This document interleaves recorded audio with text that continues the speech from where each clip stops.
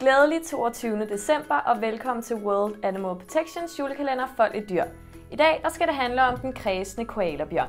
Selvom koalaen omtales som en bjørn, er den det faktisk ikke. For koalaen er et punktdyr og er beslægtet med kænguruen. Og en nyfødt koalaunge vejer omkring 12 gram og er 2 cm lang, hvilket svarer nogenlunde til en af de rosiner, du kan finde i din gløk. Som det eneste dyr i verden lever koalaen udelukkende af eukalyptus. Bladene indeholder store mængder af gift, der gør det umuligt for andre dyr at æde dem.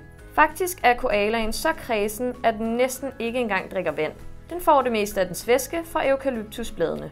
Og sjovt nok er koalaen et australsk ord for intet vand. Grundet giften i eukalyptusbladene har koalaen brug for store mængder energi til at nedbryde bladene, og derfor ser du også sjældent koalaen i vågen tilstand. For den sover op til 18 timer i døgnet, og for det meste kun vågen om natten. Nu håber jeg, at I alle sammen er blevet lidt klogere på koalaen, så nu er det tid til at folde. Hvis I følger linket herunder, så finder I skabelonen på vores hjemmeside. Rigtig god fornøjelse.